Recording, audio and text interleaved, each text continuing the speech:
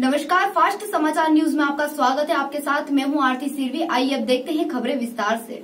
ग्वालियर की crime branch police ने दो शातिर हथियार तस्करों को धर दबोचने में सफलता हासिल की है। इन तस्करों के पास से पुलिस ने अवैध हथियार और ज़िंदा कारतूस बरामद किए हैं। वहीं पुलिस इन आरोपियों से पूछताछ में जुट गई है।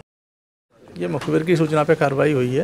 कल रात में एक सूचना आई थी एसपी सर को कि कुछ दो लोग हैं जो अवैध हथियार असंभव थे, उनके पास अवैध हथियार हैं। तो उस सूचना की तस्दीक की गई। तो दो लोगों को पकड़ा गया है। इनके पास करीब दस कट्टे और 150 ज़िंदा राउंड बरामद हुए हैं। कैसे क्या किसको जी? किसके लिए उद्देश्य ये खपत करने जा रहे थे।